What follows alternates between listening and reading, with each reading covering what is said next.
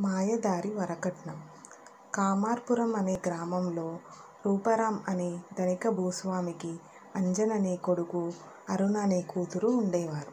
అంజన్ పట్టణంలో పెద్ద చదువు చదువుతున్నాడు. అరుణకు పదహారేళ్ళు రాగానే ఆమె వివాహం గురించి తల్లిదండ్రులు సతమతమైపోయారు. ఆమెకు కాబోయే భర్త మంచి విద్యావంతుడై మంచి స్థితిలో ఉండాలి. మంచి కుటుంబంలో పుట్టినవాడు, పరువు మర్యాదలు గలవాడు అయ్యుండాలి అని అనుకున్నారు. ఆ గ్రామంలోనే హరేంద్రుడనే పెళ్ళిళ్ళ పేరయ్య ఉండేవాడు. రూపారాం తన కూతురికి దివ్యమైన సంబంధం చూడమని హరేంద్రుణ్ణి పురమాయించాడు. ఒక వారానికల్లా హరేంద్రుడు రూపారాం ఇంటికి వచ్చి ఐదు మైళ్ళ దూరంలో ఉన్న రతిపురంలో చౌదరీల కుటుంబంలో అరుణకు తగిన వరుడున్నాడని చెప్పాడు. మిగిలిన విషయాలు మాట్లాడే ముందు వారు వచ్చి అరుణను చూడాలి. వీరు కుర్రవాడిని చూడాలి అని అన్నాడు. కుర్రవాడు ఏం చేస్తుంటాడు? అని అరుణ తల్లి హరేంద్రుణ్ణి అడిగింది. మన అంజన్ చదువుకునే స్కూల్లోనే అతడు ఉపాధ్యాయుడుగా ఉంటున్నాడు. పేరు ప్రబోధ కుమారుడు అన్నాడు హరేంద్రుడు. కుర్రవాడి తండ్రిని పెళ్ళిచూపులకు పిలిచి అరుణను చూపించారు. భువనచౌదరి అరుణను చూడటానికి టూపరామ్ ఇంటికి వచ్చాడు. అరుణను చక్కగా ముస్తాబు చేసి భువనచౌదరి ముందుకు తెచ్చారు. ఆయన అరుణను ఇంటి పనుల గురించి, వంటావార్పు గురించి ఏవేవో ప్రశ్నలు వేశాడు. అరుణ అన్నింటికీ తెలివైన సమాధానాలు చెప్పింది. పిల్ల తమకు నచ్చిందా బాబూ? అని హరేంద్రుడు భువనచౌదరిని అడిగాడు. ఈ పిల్లను మా అబ్బాయికి చేసుకోవాలంటే ఆమె తన వంట ఎంత బంగారం తెస్తుందో, ఎంత రొక్కం తెస్తుందో తెలియాలి. రోజులు ఎలా ఉన్నాయో తెలుసు కదా! అచ్చంగా పిల్లను చూసి లాభం లేదు. కట్నం కూడా చూడాలి. మాది పరుగుల కుటుంబం. నా కొడుకు బహు యోగ్యుడు. తగిన కట్నం లేకుండా వాడి వివాహం జరగదు అని అన్నాడు భువన చౌదరి తమ అభిప్రాయం ఎంతవరకు ఉన్నదో చెప్పండి అన్నాడు రూపారాం. మీరు లేనివారు కాదు. నా కొడుకు అర్హుడు. అందుచేత నూరు తులాల బంగారము, పదివేల నగదు, ఇతర లాంఛనాలు ఉంటే చాలు. ఇంతకన్నా ఎక్కువే ఇస్తామని వచ్చారు. కానీ పిల్ల ఛాయ తక్కువైపోయింది. నేను కోరిన దానికి మీరు అంగీకరించే పక్షంలో పెళ్ళి ప్రయత్నాలు ఆరంభించవచ్చు అని అన్నాడు పెళ్ళికొడుకు తండ్రి. మీవాడు పిల్లను చూడవద్దా మరి? అని హరేంద్రుడు అడిగాడు. నేను బతికుండగా వాడి పెళ్ళి నా ఇష్ట ప్రకారం జరగాల్సిందే అన్నాడు భువన చౌదరి రోజులు మారుతున్నాయి. అదీగాక మాకు కూడా పిల్లవాణ్ణి చూడాలనుంటుంది కదా! అని హరేంద్రుడు అన్నాడు. ఆయన తన కొడుకు కూడా ఒకరోజు చూసి పంపడానికి ఒప్పుకున్నాడు. వేసవి సెలవులు ప్రారంభం కాగానే అంజన్ ఇంటికి వచ్చి తన చెల్లెలికి చూస్తున్న సంబంధం గురించి విని ఆనందభరితుడయ్యాడు. ప్రమోద కుమారుడంటే ఆ కుర్రవాడికి చాలా మంచి అభిప్రాయం ఉన్నది. తరువాత రెండు రోజులకు ప్రబోధ కుమారుడు పెళ్ళి చూపులకు వచ్చాడు. అతను అంజన్ను చూసి ఆశ్చర్యపడ్డాడు. పెళ్ళికూతురు తన చెల్లెలే అని అంజన్ అతనితో చెప్పాడు. అరుణను చూసి ప్రబోధ కుమారుడు చాలా తృప్తిపడ్డాడు. అతను ఆ మాట చెబితే అంజన్ మీ నాన్నగారు మా తలకు మించిన కట్నం అడుగుతున్నారండి అని అన్నాడు. మా నాన్న సంగతి నాకు తెలుసు. కానీ ఏం చేయను?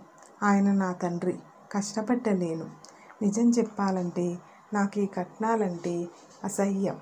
ఇవి పోవాలని కోరుకుంటున్నాను. కానీ మా నాన్న నమ్మకాలను ఎదుర్కోలేను. ఈ రెండింటిని ఎలా సమన్వయపరచడం? అని అన్నాడు. నాకు ఆలోచన తట్టిందండి మన స్కూల్లో సోమనాథుడని గొప్ప ఇంద్రజాలం తెలిసినవాడుండేవాడు.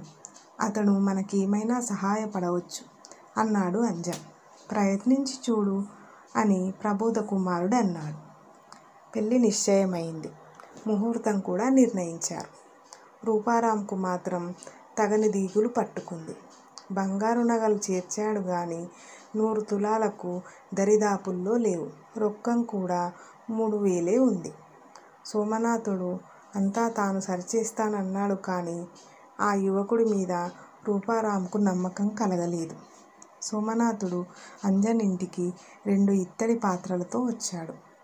వాటికి మూతలున్నాయి. ఆ మూతలు తీస్తే ఆ పాత్రల పైభాగంలో అంగుళం లోతు గల ఇత్తడి అరలున్నాయి. ఈ అరలు ఎలా తయారు చేశారంటే పాత్రల మీద మూత బిగిస్తే అరలు మూతలో బిగుసుకుంటాయి. మూతలో ఉన్నట్టు బయటికి కనిపించవు ఎందుకంటే మూతల నిడివి అంగుళం కన్నా ఎక్కువ. తాను ఏం చేయాలనుకున్నది సోమనాథుడు అంజన్కు ప్రబోధ కుమారుడికి చెప్పాడు.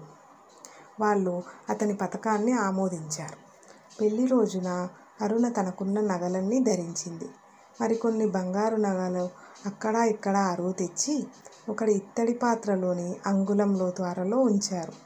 సోమనాథుడు రెండో పాత్రలో కూడా అరలో నూరు రూపాయల కట్టలు పెట్టాడు. ఈ అరల తెలియని వాళ్ళకి పాత్ర నిండా బంగారు నగలు, రెండో పాత్ర నిండా నూరు రూపాయల కట్టలున్నట్టు భ్రమ కలిగింది. వాటిని చూసి భువన చౌదరి అలాగే అనుకున్నాడు.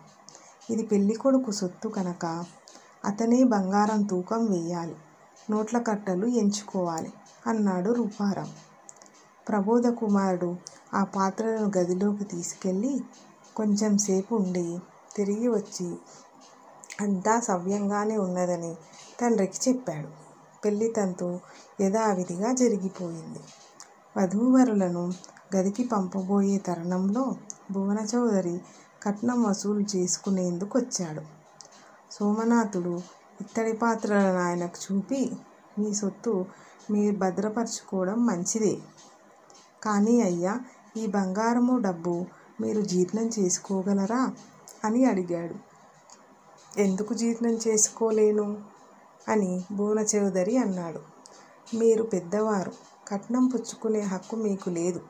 ఇది సంఘద్రోహం. మీరు శ్రమించి సంపాదించినది మాత్రమే మీరు అనుభవించగలరు.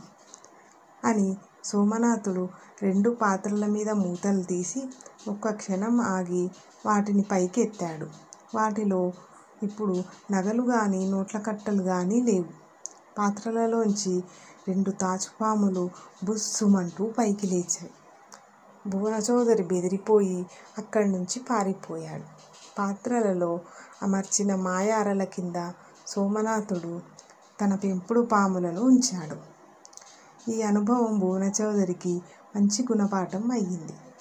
అతను మిగిలిన కొడుకులకు దమ్మిడి కట్నం కోరకుండా పెళ్ళిళ్ళు చేశాడు. ఇంతటితో కథ కంచికి